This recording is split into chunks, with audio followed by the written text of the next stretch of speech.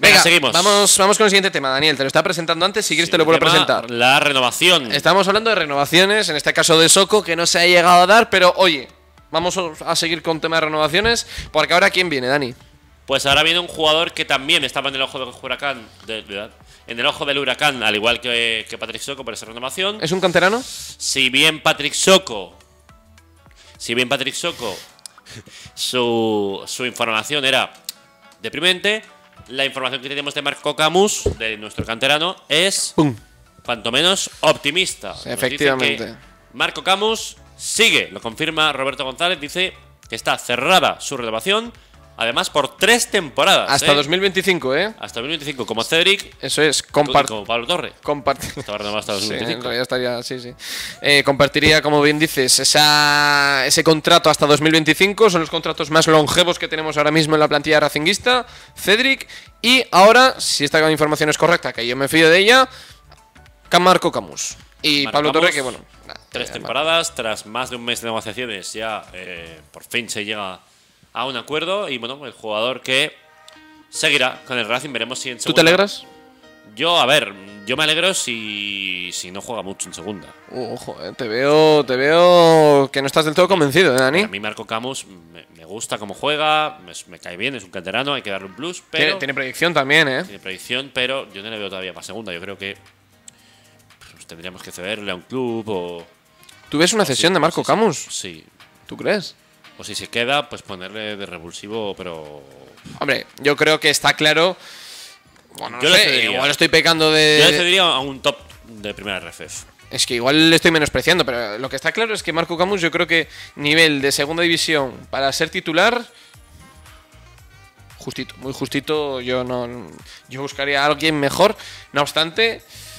Oye, pues de, revulsivo, ese rol que ha adoptado a lo largo de esta temporada, que te recuerdo que por, mucho, por muchos partidos esta, esta temporada ha sido titular, al final, al final ya se desinfla un poco, ha estado disputándose el puesto de que sea Álvaro Bustos, que sea Arturo Molina, pero bueno, Marco Camus no ha dejado mala campaña, pero es lo que dices, para el próximo año en segunda división de titular, justito, de suplente, yo no lo veo tan mal de suplente, ¿eh? Daniel, que se escandaliza, ¿qué te pasa? No, que estoy, estoy leyendo aquí que, que, según Roberto González, que, que Camus y su familia estuvieron rechazando ofertas de clubes de primera división Bueno, sonaba, sonó en Sevilla incluso, en la, ¿eh? en la cal- en la cantera. Sonó en Sevilla, si no me equivoco, Daniel, que estaba interesado en Marco Camus. Recordamos, todo esto estamos hablando porque Marco Camus era uno de los jugadores que finaliza contrato esta misma campaña. El 30 de junio, en principio, Bueno, su hecho- contrato finalizaba. Estaría bien ver los, los, los que finalizan en 2022. ¿Lo tienes Tengo aquí, tengo ahí una chuleta. Bien, Tengo aquí una chuleta que me la he preparado en mi casita. No me sonaba a mí que tenías algo por ahí. Eh, Sí, efectivamente. Eh, contratos que finalizan en 2022, te los digo rápido, ¿vale? Lucas Díaz. Lucas Javier- Díaz. Lucas Díaz. Ojo, eh. La primera en la frente. Lucas. Pues eh, tienen que trabajar con esa renovación porque. Porque, a ver, si bien, oye, hay que reconocer que Germán viene pisando fuerte en el Rayo Cantabria, pero Lucas Díaz, con su edad y sabiendo que su rol en el Racing va a ser otra vez secundario, porque teniendo a Miquel nuevamente no va a ser titular, va a tener que adoptar, pues como decimos, ese rol de eh, portero suplente está, como ha tenido esta temporada y más en segunda división. portero por- suplente en segunda. Ya, pero eres joven. Si no tienes minutos, te ya- estancas. Pero él ya juega en segunda. Sí, pero no sé, yo no vería ninguna locura que Lucas Díaz coge y diga, pues no, cojo y me voy a otra jugar. Copa del Rey. Bueno, no sé, yo, o sea, son pros y contras que tendrá que valorar él, pero si se va, tanto si se va como si queda, yo creo que tiene argumentos tanto para una cosa como para la otra. Pero de verdad que no me sorprendería nada si se, se coge y abandona el club, ¿eh? Porque si quiere, si quiere disfrutar de minutos, si quiere realmente explotar su potencial y crecer, en el Racing lo va a tener un poquito más complicado. Si bien juegas en una categoría superior que te da un cierto caché, pero claro, para eso tienes que jugar. Y Jorrin, o sea, este Lucas Díaz no, no va a tener muchas papeletas. Eh, Javi Vázquez llegó en invierno, en teoría termina contrato este, este junio. También Jorrin, ojo Jorrin, ¿eh? ¿Cómo lo ves tú, Daniel? Porque Jorrin, Ya Jorín le renovaba. el del final del Racing, ojo, eh, yo, yo creo que también, creo que es otro jugador que tiene proyección. A Javi Vázquez no te has det- detenido. Entiendo que no quieres renovarle. No, creo que podemos encontrar algo mejor. Vale. Si bien, oye, al principio no me convenció, pero con el tiempo me fue ganando, para segunda habrá que mirar en otros lados, yo creo. Es que si bien, oye, igual de segunda B a segunda había más diferencia. Con- De primera RFF a segunda división igual no hay tanta, pero yo insisto que hay que cambiar todo el equipo porque si no queremos repetir lo de nuestro último año en segunda, vamos a, hacer, vamos a tener que hacer las cosas mucho mejor. Jorín, bueno, otro más que abandona el, el Racing este 30 de junio, a menos que sea las 9, Sergio Marcos. Que yo ya te leo la mente, Daniel, tú no tienes ninguna intención de renovarlo. Ni coña, vamos. No, yo tampoco. O sea, no, básicamente no. Creo que, nuevamente insisto, quiero lo mejor para el Racing y creo que hay que buscar jugadores mejor de los que tenemos en, hoy en. O sea, es que no, no podemos renovar a un jugador que ni siquiera en primer RFF ha sido titular, con lo cual, nada. Ojo, este sí que es interesante porque además sacamos cositas en la entrevista. Arturo Molina. Arturo Molina. Finaliza contrato este 30 de junio. Pero ¿qué pasa? Oye, que hablamos con él en la celebración de este domingo y le solté la preguntita. Joder, esperamos verte la próxima temporada. ¿Y qué respondió él, Daniel? Le respondió, seguro que sí, seguro, seguro, que seguro. sí. Seguro, seguro, seguro que sí. Y yo me quedé en plan de, ¿ah, sí?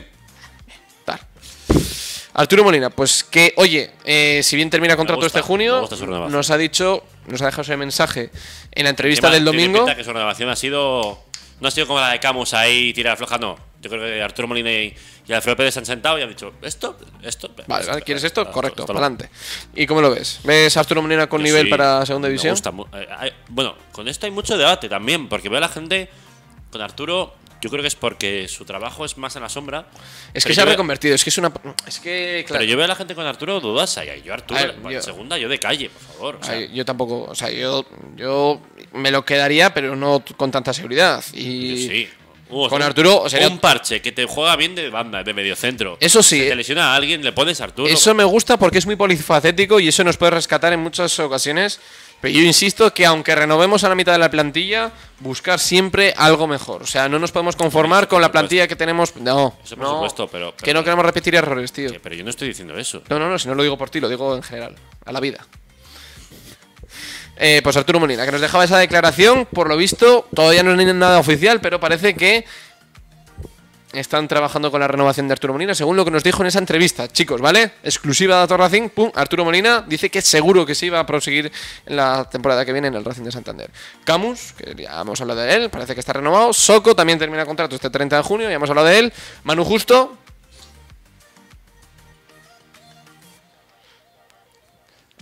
Manu Justo termina contrato y yo no lo renovaba ni de coña. Es que ni de coña. Y he visto gente en Twitter pidiendo su renovación, no sé si estaría de coña, yo es que no, es que no lo veo. O sea, te dejo dar tu opinión, Daniel. Pues es que tú, Pero déjame coger aire. tú le has cruzado a mano justo de una manera brutal. O sea, tú lo has cruzado. A ver, ha, cu- cumplido. habla- hablas no, no, tengo que reconocer. como si fuese Juanjo Esposito. No, vale, sí, salvando las distancias. Creo que ha cumplido. Mira, ahí te reconozco. Creo que ha cumplido. Creo que ha hecho una temporada de 5 y medio 6. Pero de ahí a, a que el rendimiento que todos esperamos en segunda división, o sea, si no ha dado un buen rendimiento en primer RFF, ha dado un rendimiento correcto, pero no bueno. ¿Qué te vas a esperar de él en, pre- en A ver, segunda división? Yo, a mano no me lo quedaría. Vale, ya está. Bueno, añade, añade, añade. Pero sí, vale, reconozco que he sido muy cruel con él. Si quieres que, que lo reconozca, lo reconozco. Y creo que eh, en muchas ocasiones es posible que haya sido injusto con él. Pero de ahí a, a renovarle para la próxima temporada, hay un trecho que no, que no soy. Que, no- que no- por ahí no paso. Ya Harper, Yo le renuevo. Le pongo de utillero y que nos lleve las botellas. traguito de té, No, de té whisky. escocés, De a whisky. y bueno, Harper y Romo. Romo, que finaliza contrato este. Vitalicio. Vitalicio. Eh, también hay que decir que abre otra vez el cacharrinese porque he leído que. Es que no me dejas aprender. Que Isma López tiene contrato hasta, 2020 hasta 2024. Isma López. Ya, bueno, sí. Es que esto también igual hace falta dejarlo para otro directo, ¿eh? que llevamos hora y 20 y todavía no nos ha hablado de lo gordo. Bueno, hemos. Ya, ya hablaremos de, otro- de este otro directo, pero ahí dejamos ahí los más interesantes. Comentarios. Eh, voy con comentarios. En cesiones de Camus de Mantilla, a no ser que el Rayo Cantabria subiera a primer RFF, se nota que no me gustan. Handru, pues oye, que quiere ceder a Camus y a Mantilla. A Mantilla, ya te aviso, está renovado y con intenciones de disfrutar de él en segunda división. ¿Que del nivel Mantilla en segunda división? A mí también me genera dudas, Handru, estoy estoy, contigo. estoy de acuerdo contigo. Yo cedería tanto a Camus como a Mantilla. A los dos. Al Teruel, con Ceballos. Yo, yo esperaría, fíjate. Con un Teruel en primer RFF, lo llenamos de cántaros del Racing. y hacemos un convenio de estos de equipo afiliado Sí, sí, bueno. y nos quedamos con el Teruel. Nos quedamos con el Teruel, no, pero. A ver, a ver, a ver, espera, para, frena el carro. O sea, estás hablando de ceder a Camus y a Mantilla al Teruel de primer RFF Sí. cuando es posible que incluso el Rayo Cantabria Está en ascienda segundo tam- RF, pero va a ascender. y cuando es posible que el Rayo Cantabria también ascienda a primer RFF. O sea, teniendo al Rayo Cantabria en primera, Si el Rayo Cantabria no asciende, vale. al Teruel. Bueno, Porque Teruel sí que va a estar en primer RF. Lo que podían sí- entender. Creo que van a ser campeones. ya, ya os aviso que Mantilla la intención es que juegue en segunda división, ¿eh? Y Camus tengo entendido que también. Hombre, si no, no lo renovarían, ya te, ya te aviso yo. Em, Germanas- Germantástico dice, habrá que ir metiendo a esa clase de jugadores poco a poco. Yo, mira, yo lo de las cesiones lo veo... Se, se sabe el rol de Camus y de Mantilla y ellos lo saben. Sí, y lo de las cesiones Sí, lo veo, sabe. por ejemplo, igual para el mercado de invierno. Pero primero tantearles un Camus y poco. Mantilla no esperan jugar en segunda mucho. Mucho, mucho no, pero esperan jugar. Al- algo. Esperan pues jugar. sí, de suplente, pues sí. sí. Eh, el que tiene que dar un paso adelante es Marco.